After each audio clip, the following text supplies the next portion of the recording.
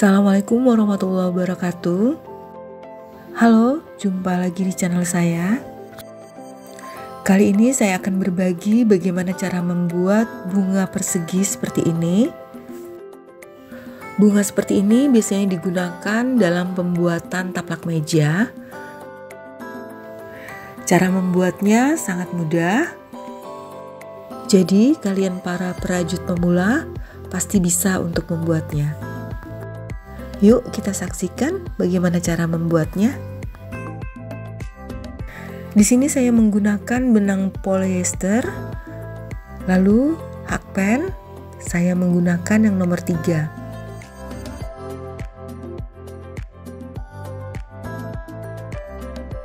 Kita mulai saja bagaimana cara membuatnya. Pertama kita buat slip knot terlebih dahulu.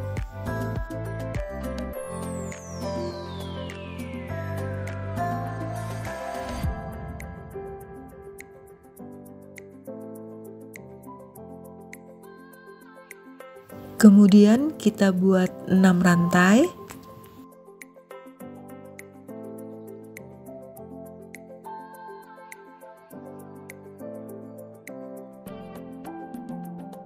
Lalu kita buat slip stitch ke lubang pertama.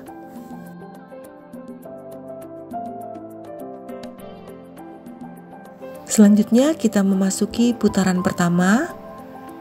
Kita buat tiga rantai.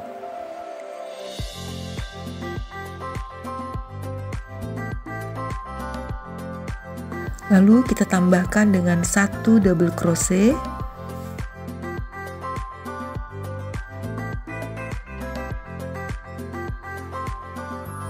Kemudian kita buat satu rantai. Selanjutnya kita buat dua double crochet. Kita tambahkan dengan satu rantai.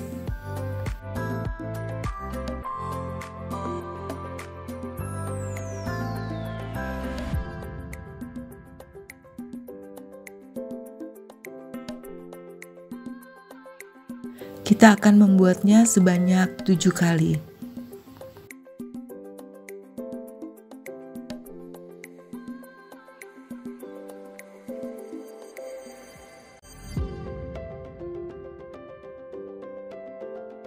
Kita akan mengerjakan dua double crochet dan satu rantai seperti ini hingga akhir putaran. Sekarang kita sudah berada di akhir putaran pertama. Di sini ada 8 bagian. Kita lanjutkan dengan membuat satu rantai. Lalu kita satukan putaran pertama ini dengan slip stitch. Seperti ini ya bentuknya. Kita lanjutkan ke putaran kedua. Kita buat tiga rantai.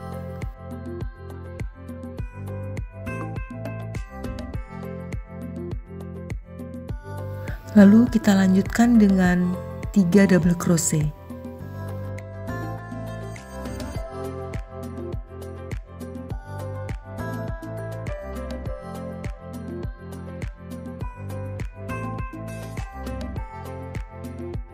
Untuk double crochet yang terakhir, kita mengerjakannya di lubang rantai.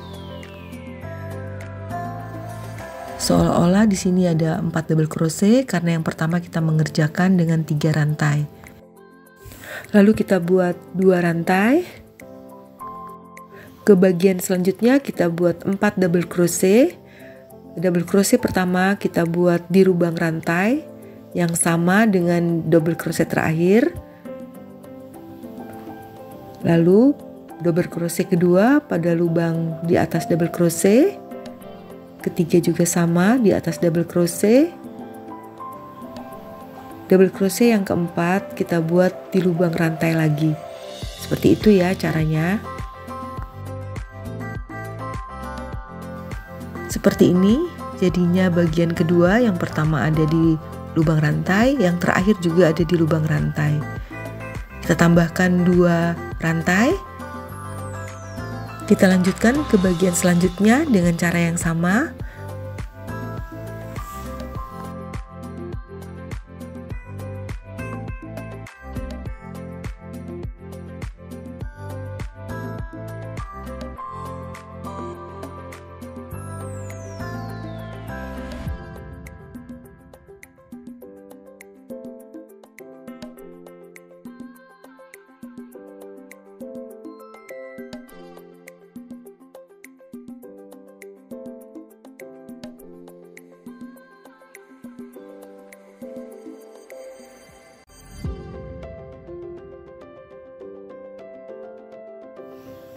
Cara seperti ini akan kita kerjakan sebanyak tujuh kali hingga ke akhir putaran.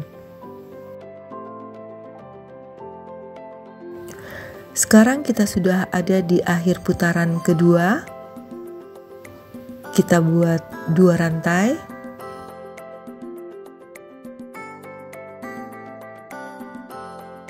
Lalu kita tutup putaran ini dengan slip stitch. Seperti ini bentuk putaran kedua. Terlihat di sini ada 8 bagian. Selanjutnya kita masuk ke putaran ketiga. Pada bagian pertama ini kita buat tiga rantai terlebih dahulu. Lalu selanjutnya kita buat tiga double crochet top.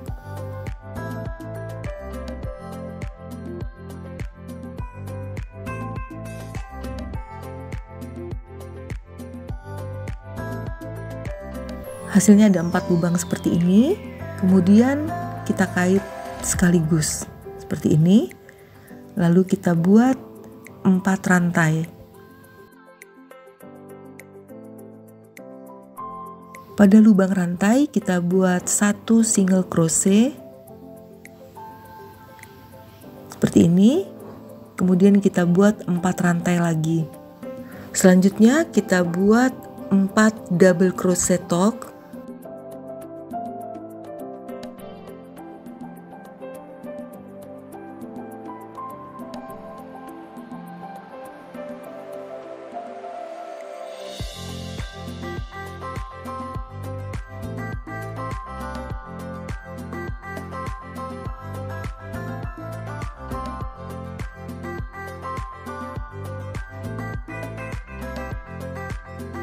Kemudian kita buat 4 rantai, satu single crochet dan 4 rantai lagi.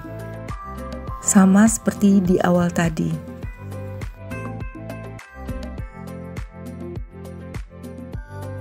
Untuk selanjutnya kita akan mengulangi lagi membuat 4 double crochet top, 4 rantai, satu single crochet dan 4 rantai lagi sebanyak 7 kali.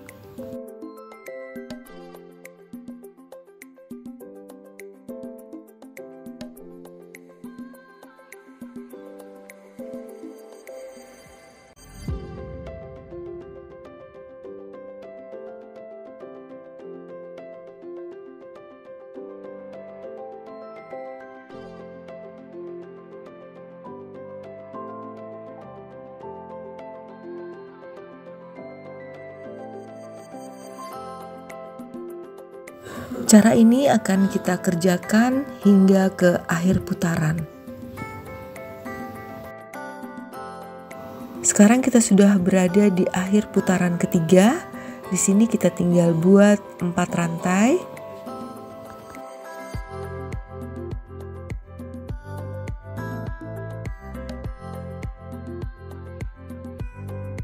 Lalu kita buat slip stitch di sini di atas double crochet top ini.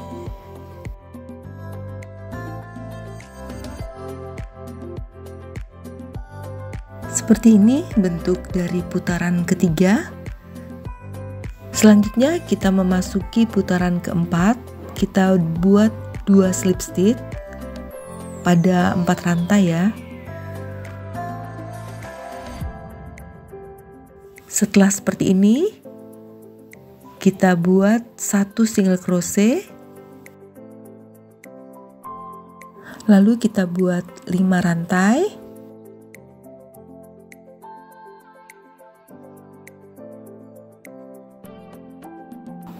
Satu single crochet lagi pada lubang rantai. Seperti ini. Bentuknya. Kita lanjutkan lagi. Kita buat 5 rantai Setelah dua kali lima rantai seperti ini, pada lubang rantai selanjutnya kita buat tiga double crochet.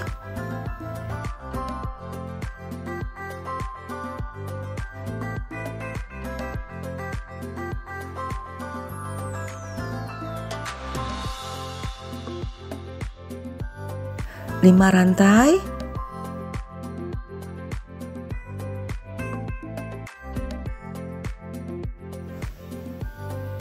lalu 3 double crochet lagi pada lubang yang sama.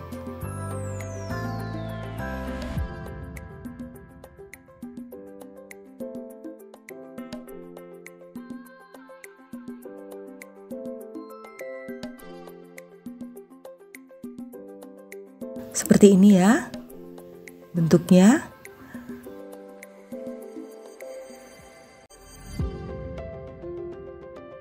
Selanjutnya kita kembali membuat 5 rantai, satu single crochet, 5 rantai sebanyak 4 kali.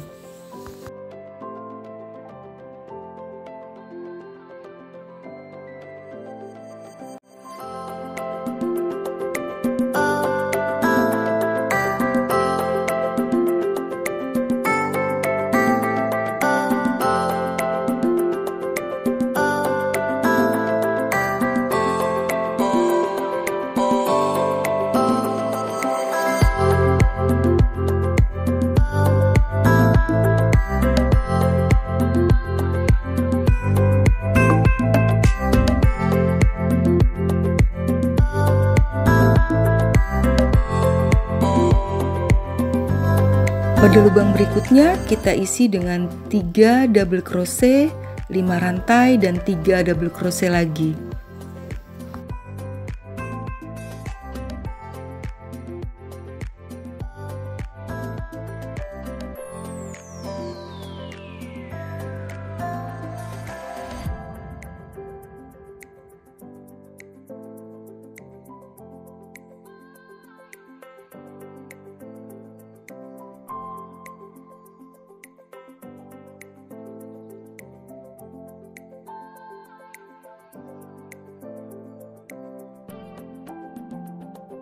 Seperti ini ya, jadi bentuknya ada 4 5 rantai. Lalu kita kembali ke 3 double crochet, 5 rantai dan 3 double crochet.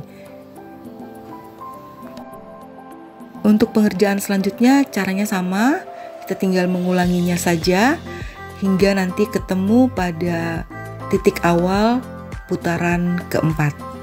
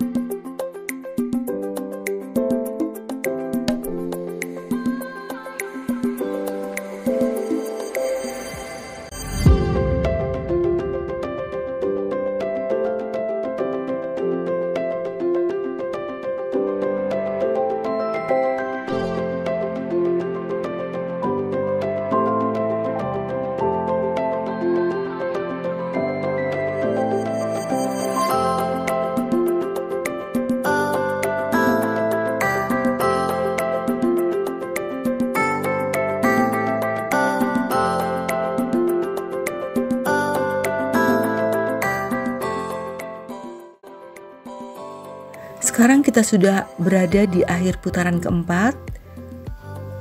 Kita buat satu single crochet lagi pada lubang rantai. Kita buat 5 rantai lagi. Yang terakhir. Kemudian putaran keempat ini kita tutup dengan slip stitch.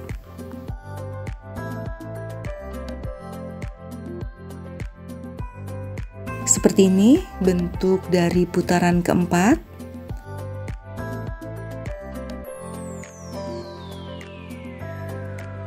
Sekarang kita lanjutkan ke putaran kelima. Caranya sama dengan putaran keempat. Di awal kita buat dua slip stitch.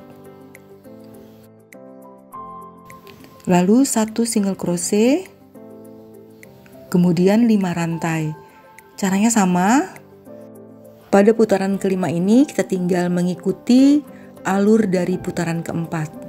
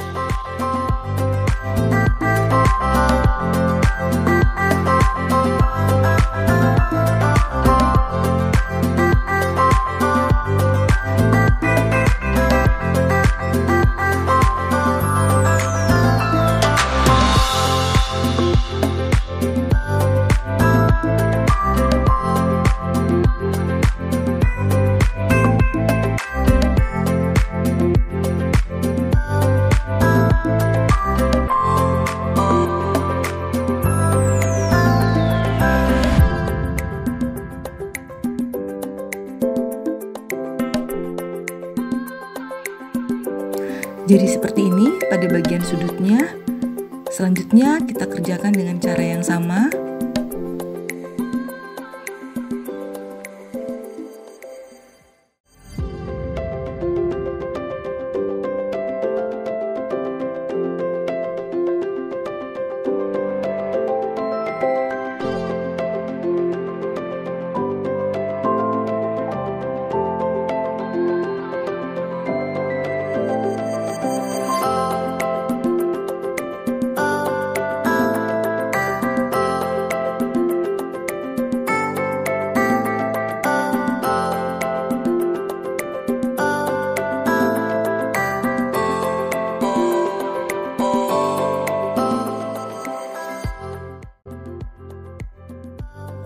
Kita akan mengerjakan dengan cara seperti ini hingga ke akhir putaran.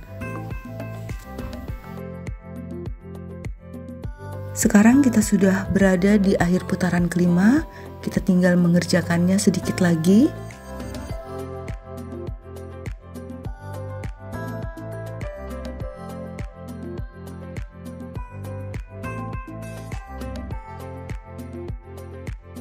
Seperti biasa, di akhir putaran kita buat satu slip stitch. Karena ini putaran terakhir, kita kunci dengan satu rantai seperti ini. Putaran kelima sudah selesai, maka selesai juga pembuatan bunga persegi rajut ini. Untuk sisa benang dapat kita potong lalu kita selipkan sisanya ke bagian belakang. Untuk selanjutnya saya juga akan membagikan langsung pada video ini bagaimana cara menyatukan atau menyambung dua bagian dari bunga persegi ini Untuk menyambungnya tidak kita buat dua lalu kita sambungkan, tapi kita akan membuatnya hingga keputaran keempat dulu. Kemudian kita sambungkan pada bagian bunga persegi ini. Seperti ini, kita mengerjakan bagian yang satu hingga keputaran keempat. Kemudian kita akan melanjutkan pengerjaan putaran kelima sambil kita sambungkan pada bagian uh, bunga persegi empat lainnya.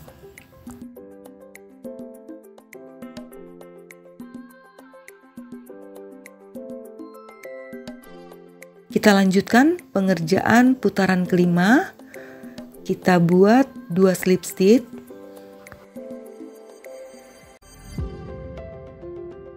Lalu satu single crochet Selanjutnya kita buat 5 rantai.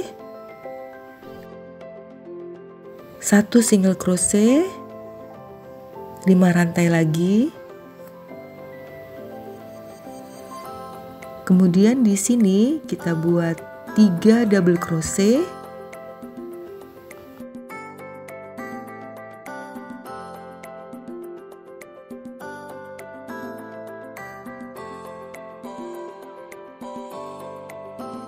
Lalu kita buat dua rantai. Di sini kita mulai melakukan penyambungan ya. Kita akan menyambungkan pada sisi sudut juga. Kita lepas dulu hakpennya. posisinya seperti ini lalu kita kait dari sebelah kita ambil dari bawah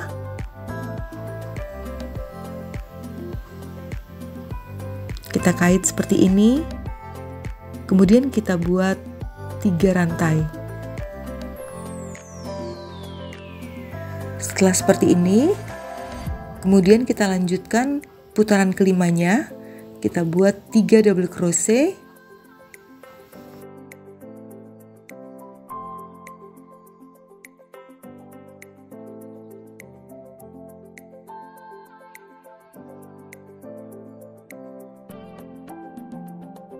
Setiap ketemu bagian rantai, kita mulai penyambungan.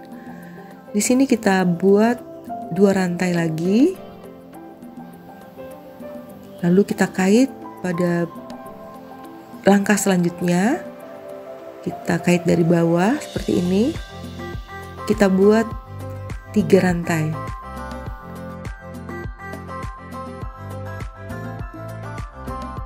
Lalu kita buat satu single crochet. Kita akan mengerjakan sambungan seperti ini pada langkah selanjutnya dengan cara yang sama pada semua bagian ini. Jadi perhatikan saja bagaimana caranya.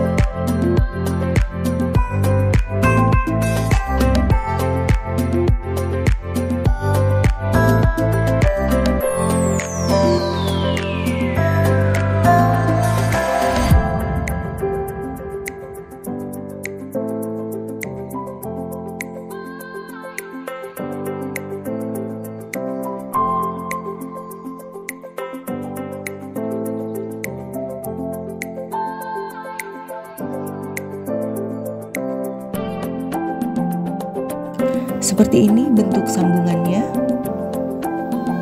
Sekarang dua bagian ini sudah tersambung menjadi satu bagian. Langkah selanjutnya kalian tinggal menyelesaikan saja putaran kelima ini hingga selesai. Seperti ini bentuk yang telah tersambung.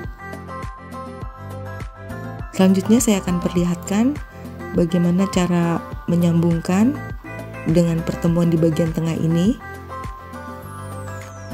Sebenarnya caranya sama, kalian dapat mengerjakannya sendiri. Tapi di sini saya akan perlihatkan bagaimana caranya. Kita akan menyambungkannya dari bagian ini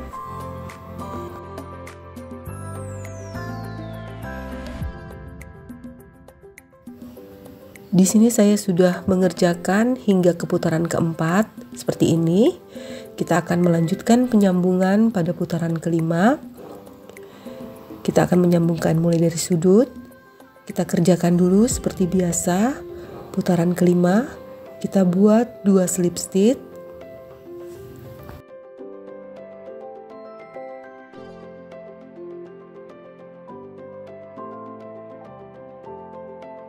Selanjutnya kita buat satu single crochet 5 rantai.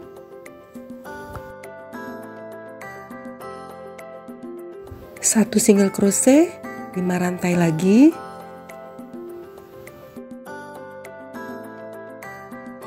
Kemudian kita buat 3 double crochet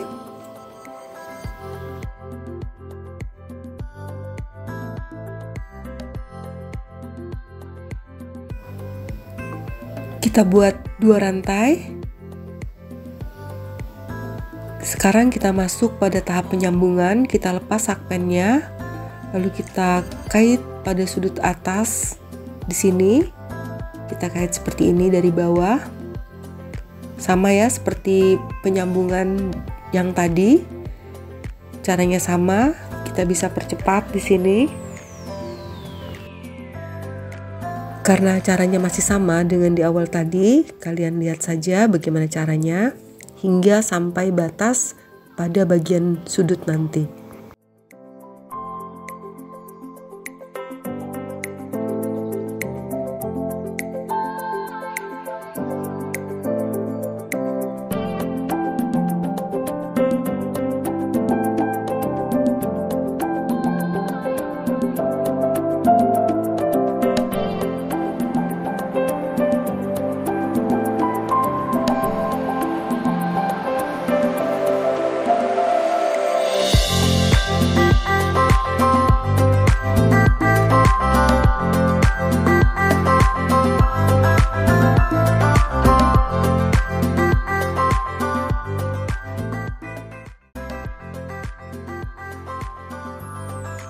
Sekarang kita sudah memasuki pada bagian sudut. Kita buat 3 double crochet.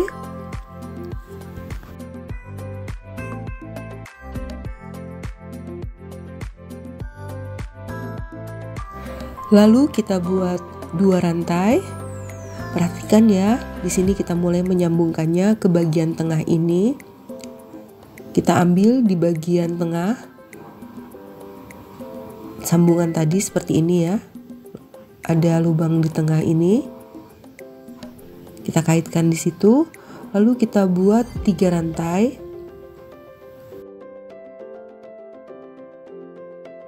Kemudian kita buat tiga double crochet kembali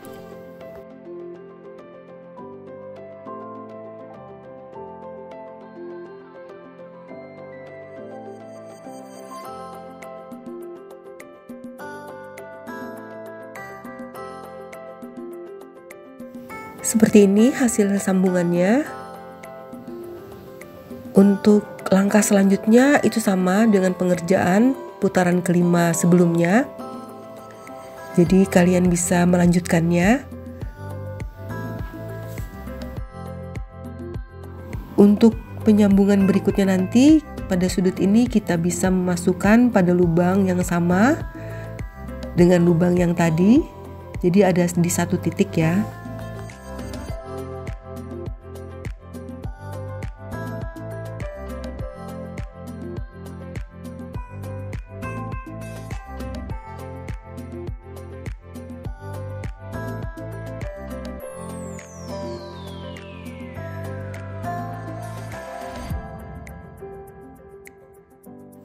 Kalian dapat melanjutkan putaran kelima ini hingga ke awal putaran tadi di sini ya. Sekarang kita sudah ada di akhir. Kita buat satu slip stitch. Lalu kita kunci dengan satu rantai. Seperti itu ya cara menyambungnya. Untuk selanjutnya kalian bisa menyambungkannya sendiri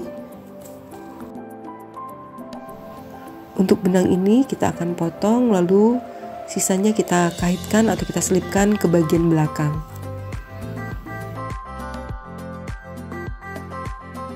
Seperti ini bentuk sambungan berikutnya. Sama saja caranya. Untuk seberapa banyak bagian yang akan kita sambungkan itu tergantung dari seberapa besar taplak meja yang akan kalian buat. Dengan demikian, selesai sudah tutorial ini. Semoga video ini bermanfaat. Jika ada yang kalian kurang mengerti atau yang ingin kalian tanyakan, silahkan kalian tulis pada kolom komentar. Terima kasih atas perhatian kalian. Jangan lupa untuk like, komen, share, dan subscribe video ini.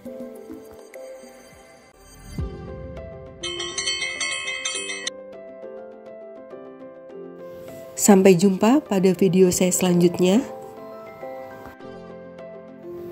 Wassalamualaikum warahmatullahi wabarakatuh.